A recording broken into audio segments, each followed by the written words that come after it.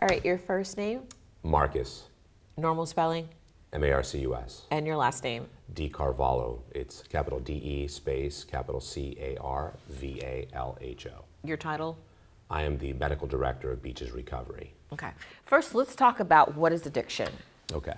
So, um, and that's really a great question. Addiction is essentially a hijacking of your brain, meaning there's an area in your brain that you and I have evolved as human beings that allows us to get pleasure from things that keep us alive.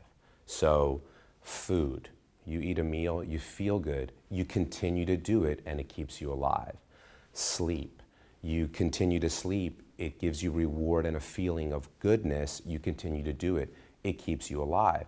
If you stop those two things, your body will go into almost a withdrawal state and make you go after food and sleep, and you'll do everything possible to get those things.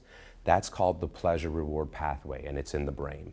It's also called the mesolimbic system, but we, we call it, we like to use that term, it's easier to understand pleasure and reward.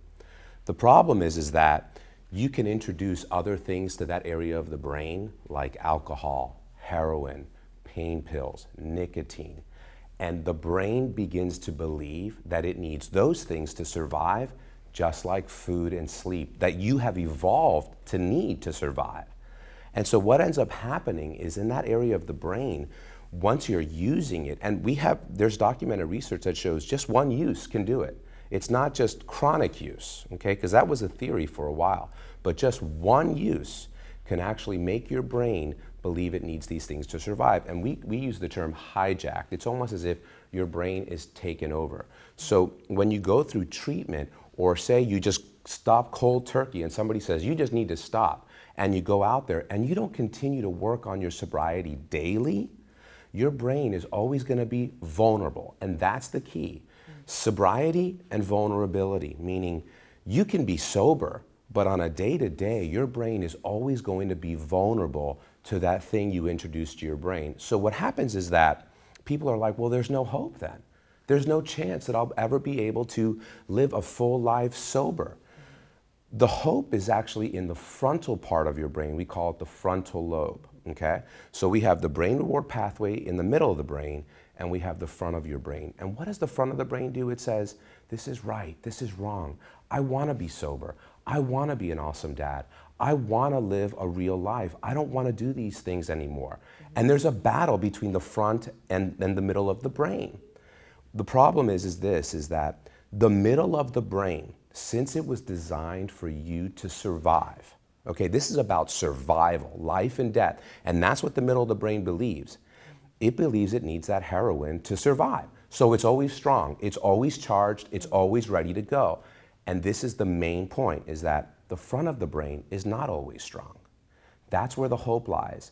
If you work on that front part of your brain, the prefrontal cortex or the frontal lobe, every day, you go to AA, you go to Celebrate Recovery, you go 60 to 90 days in treatment, okay? And you're working on your sobriety every day, that frontal lobe is stronger than the brain reward pathway, and we call that sobriety. Mm. The moment you let the frontal lobe drop and you're like, I don't really need to go to groups anymore, I'm doing good, that was a part of my life in the past, I have priorities, I've got to work, I've got to do all these things, which are true, but you don't make sobriety the most important thing of your life, and the frontal lobe drops below the brain reward pathway, we call that relapse.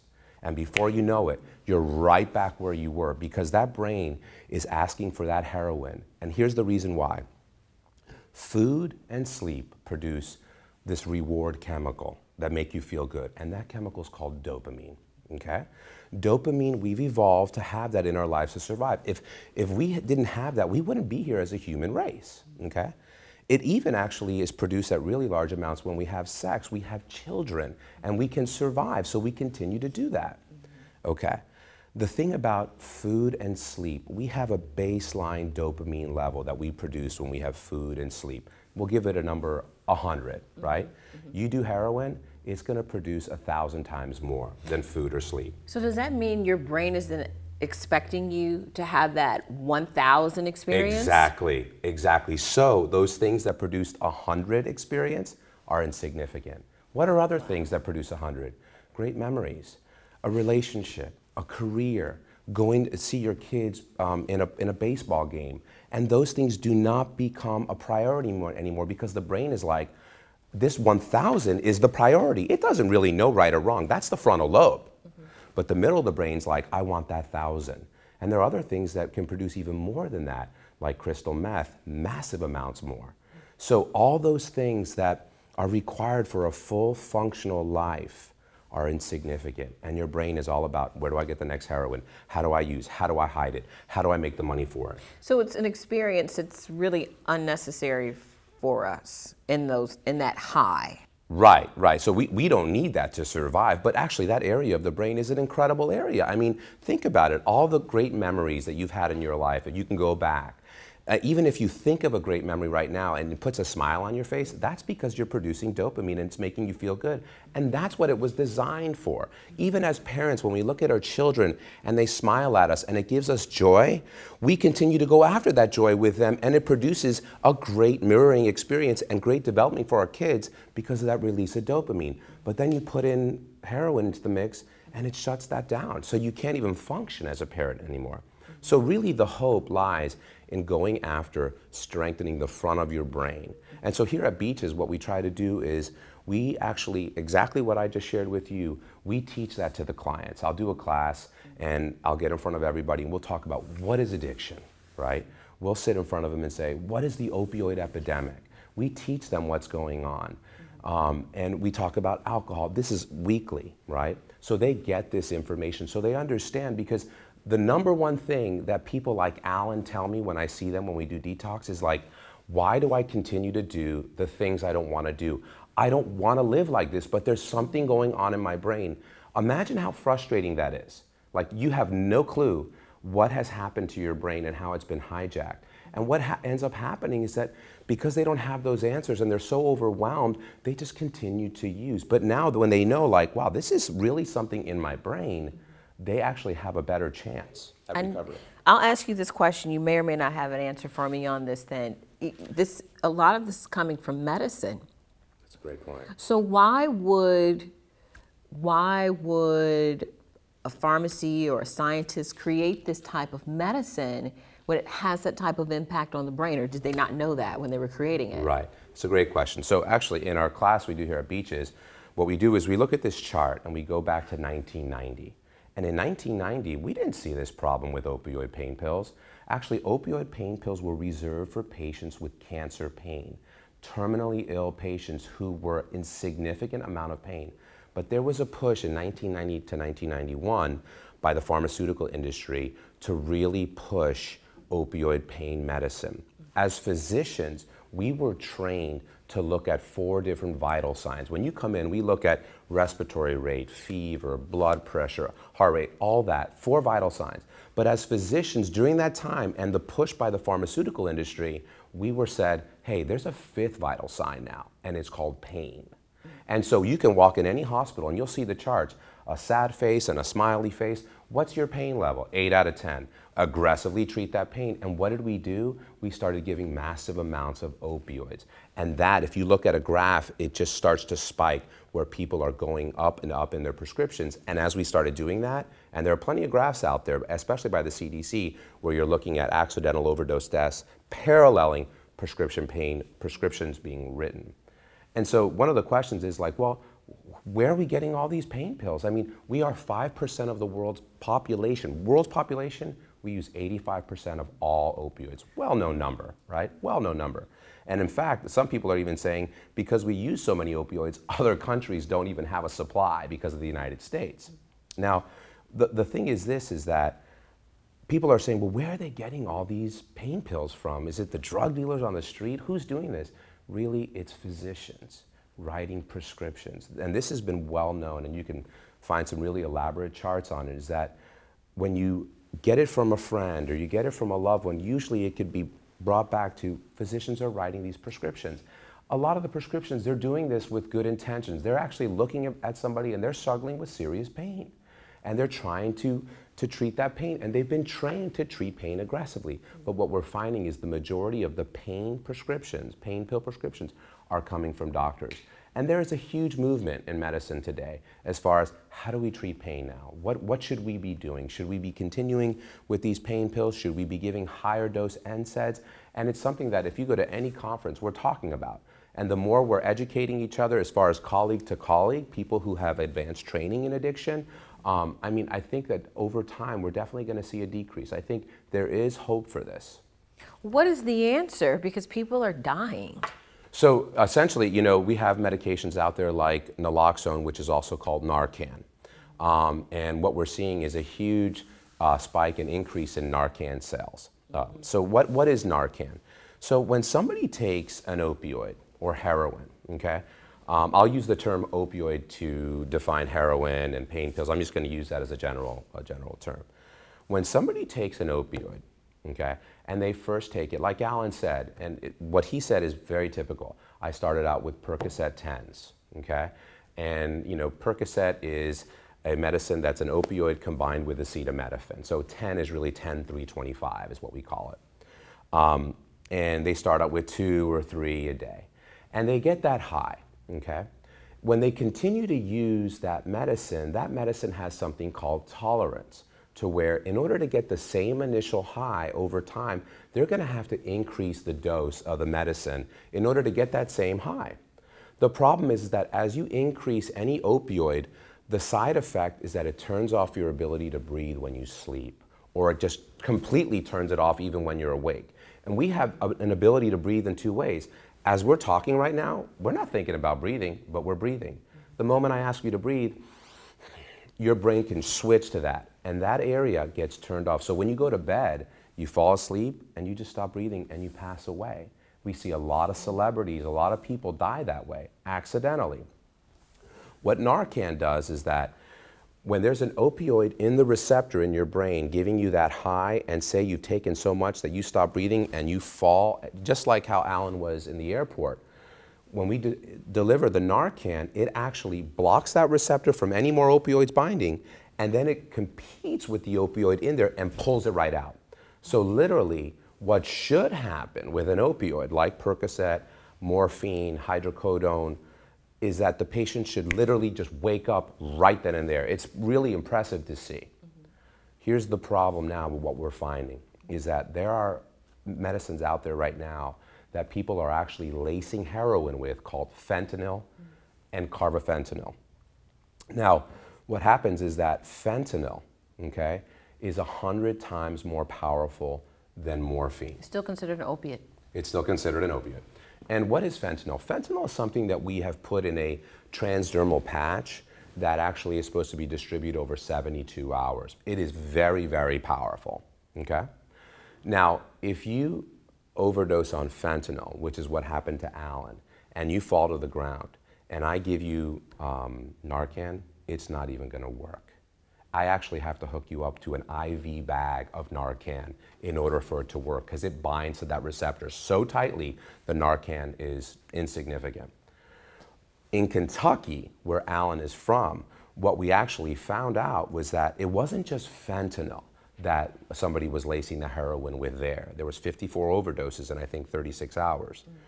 It was carbafentanil, which in 1970 was designed by Janssen Pharmaceuticals to actually treat elephants.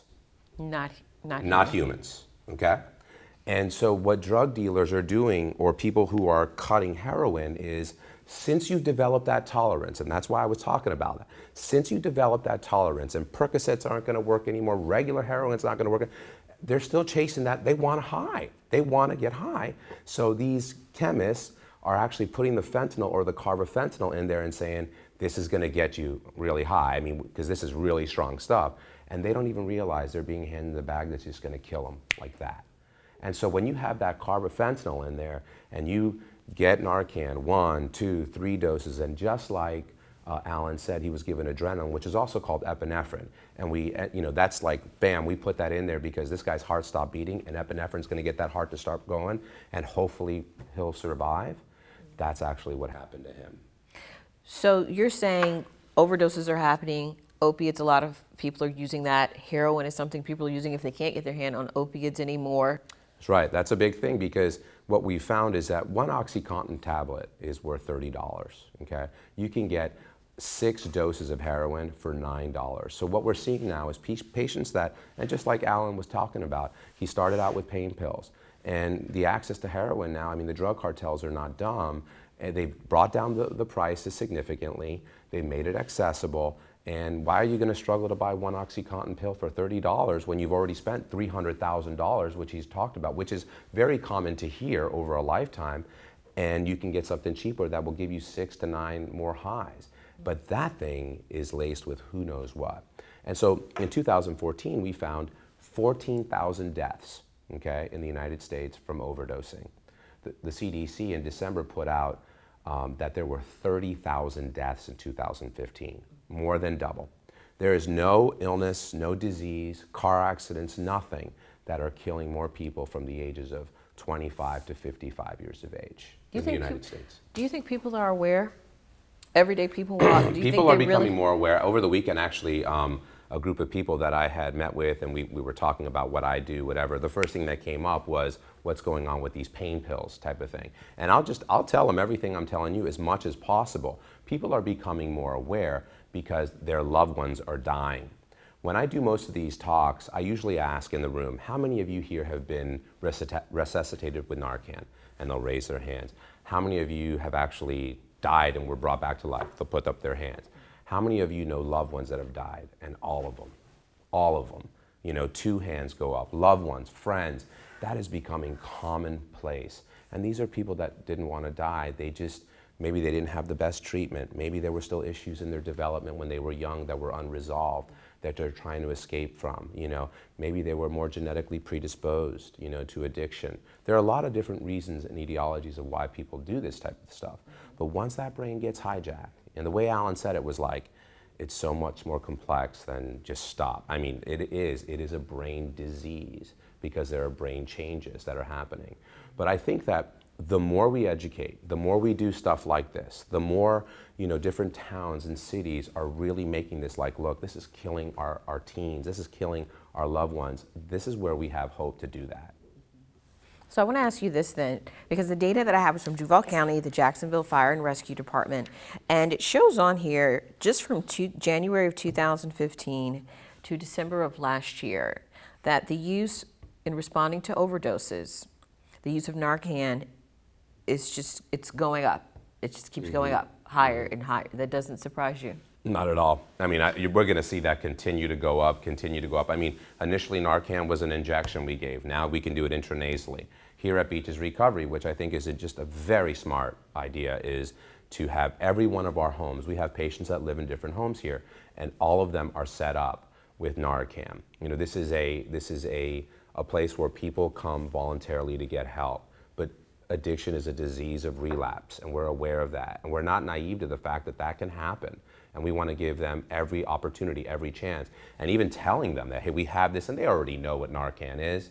I mean, you and I chatted prior to this that there are actually drug dealers that when they are selling heroin to their patients, they're giving them Narcan. You know, is it about saving their lives? No, it's about for them to come back and buy more heroin, obviously. Mm-hmm. But this is where we are today. But it is a life saving medicine. Okay. What else did I want to ask you? We've pretty much touched on everything. And then also in the recovery process, talk about the misconception of 28 days and where that That's comes That's a great, from. great point. So, you know, when we do our class here at Beaches, we, we, we also want to talk about treatment. You know, what is treatment? Um, and a lot of people come in and they're like, hey, I'm going to do my 28 days and, I, and I've got to get back to my life. But there's no data, no research that supports 28 days is going to work. That actually is a number that was created by the insurance industry as what they will pay for treatment. Really, where the data lies is 60 to 90 days. And actually, there are treatment facilities out there where you can go and live six months to a year. You know, those are the people that have the best outcomes. Why? One, they've disconnected themselves from their social network, the people that are selling them drugs. Okay? We are actually going and what is the underlying etiology? Is it your development? Is it your family, your social network? Is it your genetics? We'll tease that out and then we'll plug them into great therapy, cognitive behavioral therapy, family systems therapy. And that takes time to do. 28 days, I mean, 28 days, I mean, is just hitting the tip of the iceberg. At 28 days, and I see it all the time, they'll, they'll come right back, you know? Um, but if that's all we have, then that's what we have, and that's what we're going to go with. But really educating them on what is treatment it's not 28 days. It is not. Because we're talking about 28 days versus the rest of your life, and you've been living prior to those 28 days, 20 years using, 28 days is not enough. You think that it should then be increased the threshold from 28 days? In, I, in absolutely. I would say it should be a minimum of 90. And then after 90, after that patient has gone through 90 days, let them decide. And you know what they'll say? Hey, look, I want to relocate. I'll, I want to stay around here. The relationships I've built around here, this is very common. People who are dedicated to treatment, when they come to beaches, actually a lot of them relocate here, will volunteer here, um, because they know that this is really like ground zero for them where they've started their lives again.